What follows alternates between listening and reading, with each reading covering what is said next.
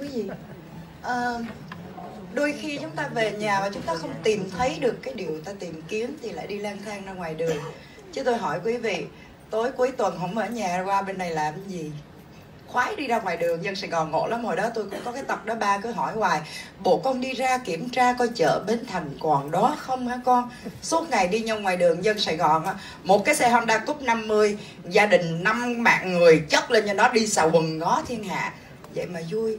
Sợ người ta quên mình sợ không có cái sự kết nối. Bởi vậy cái gia đình của sài gòn đó đây cái vỉa hè.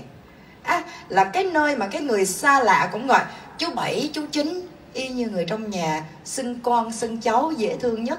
Là nít miền nam mỗi lần xưng con nghe như gần gũi như con cháu trong nhà mà có riêng muối rột rà gì đâu. Nhưng cái vỉa hè này cũng là một cái nơi mà một cái gia đình nó có đạo lý trên dưới trước sau lễ độ. Nhỏ coi giang hồ, chú hai đó, đeo dây lòi tói vàng đó.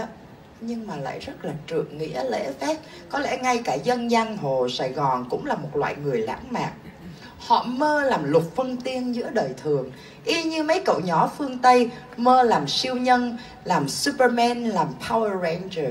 Thì ở dân sài gòn cũng có cái hình ảnh đó. Có lẽ trong cái máu lãng mạn của dân xứ này nó đã ăn nhập. Không biết là từ lúc nào, có thể là từ những di dân miền bắc trí thức đi vô trong nam sau hiệp định geneva, mang theo cái tinh hoa lãng mạn, ảnh hưởng nặng nề của người pháp.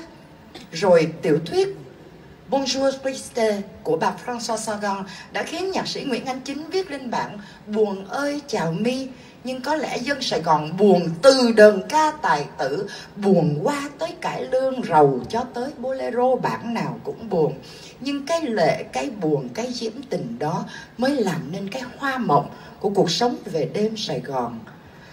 Hoa ở Sài Gòn được tưới bằng lệ, vinh quang của Sài Gòn được tưới bằng những lần khánh tận đến tận cùng.